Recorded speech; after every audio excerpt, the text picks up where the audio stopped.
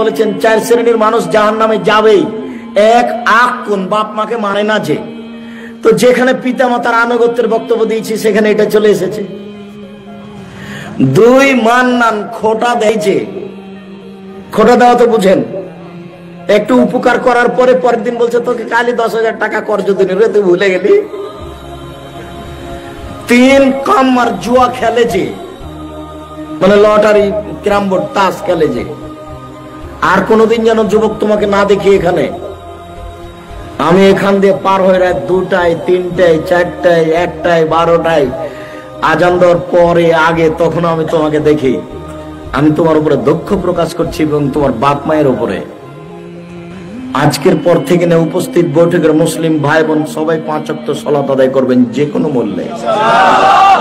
এই অপছন্দ কথা কর্মগুলি ত্যাগ করবেন, দোকানে বসে আড্ডা পিটা ত্যাগ করবেন কোনোদিনই দোকানে বসে আড্ডা পিটলে ভালো কাজ হয় না, মন্দ ছাড়া।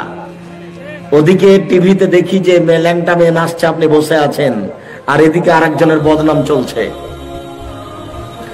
চার মধুমিনুল খাম, নিয়মিত বিড়ি, তামাক, জর্দা, সিগারেট, গুল, নেশাদার দ্রব্য খায়, পান করে যে।